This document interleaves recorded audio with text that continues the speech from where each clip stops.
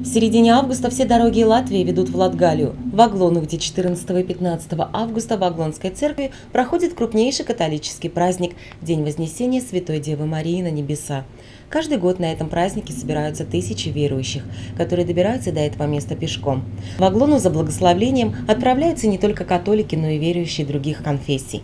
У каждого своя мотивация. Для кого-то это связано с особыми молитвами, для других это желание почувствовать близость Бога в своей жизни, а для третьих – совместное выживание и переживание с другими христианами.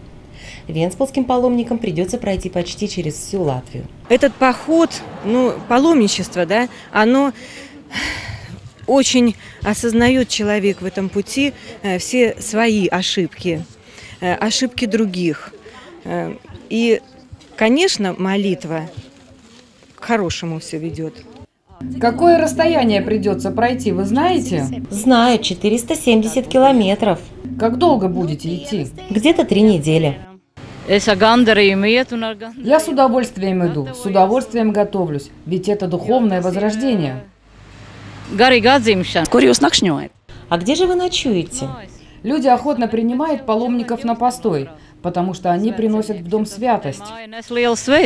Немногим более 10 человек из Венспилса отправились с молитвами в путь. Четвертый год за собой ведет христиан отец Мартин.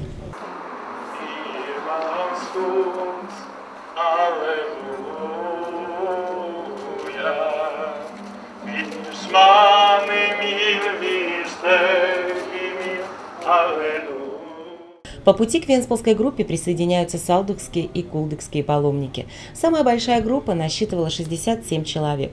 Инта в Аглону отправилась впервые. С собой она захватила немного вещей, среди которых есть гитара. У меня с собой палатка, спальный мешок, одежда, лекарства, гигиенические принадлежности. В этот раз и гитара с собой. Мне очень давно хотелось пойти, но только в этом году все удачно сложилось, и я могу идти. Šoreiz arī ģitāra sanāk līdzi. Пешее путешествие паломников продуманное. Есть организованные по пути лагеря и полевые кухни. На второй-третий день самое наибольшее чувствуешь э, уже физическая э, усталость.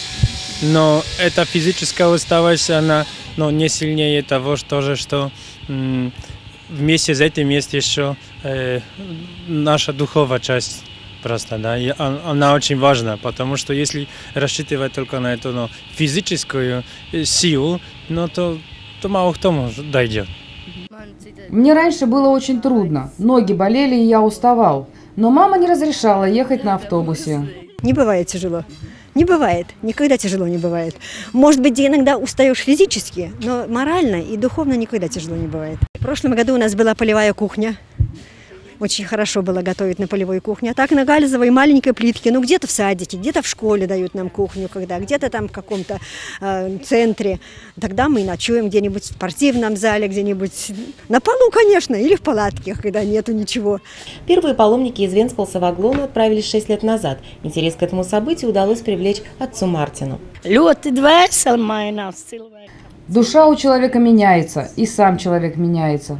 Мне 66 лет, мне нелегко, но и Богу было трудно. Помолишься, голову поднимешь, и силы приходят.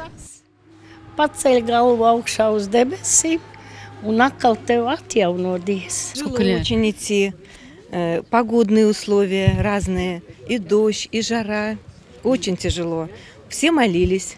Все молились не только э, сами за себя, а молились э, за всех. Те, которые шли, вот, то многие поуехали. Вот, целая группа с нами были уехали. И много таких, которые поуехали. Нету здесь их больше. А новые люди как-то боятся, не присоединяются. Некомфортабельно, может быть. А, да, да, вот а боятся трудностей. Как это так спать? Как это без воды? Как это не помыться там что-то такое? Не, не принять душ или что-то такое? Вот многих так слышу. А те, которые с нами первый год шли, очень многие поуехали. Очень многих нет. В этом году в католическом храме Венспилса удалось провести серьезные ремонтные работы. В последние годы в это здание средства не вкладывались, хотя некоторые предметы являются культурно-историческими ценностями в масштабах страны. Финансировать содержание здания приходится католической общине собственными силами. У нас же костел совсем неотапливаемый, а сейчас вот э, наш отец Мартин сделает отапливаемый пол теплый будет у нас, так что будем мы уже шикарно тогда молиться, не так, что холодно всегда было зимой. В этот год э, удалось э, обновить один из алтарев, э, который, который там в, в церкви, ale тоже э, этот ремонт э, повя- э, повязаны тоже с этим, что происходит как бы вокруг тоже нас, когда делают дорогу э, на Катулуела и, и надо менять эти заборы и тоже по Юрасьела и Венспилская католическая община отличается своей интернациональностью. В нее входят и русские, и поляки, и цыгане, и латыши. Татьяна Саксаганская, Гонда Порница, Инджодзинч, Курзамское телевидение.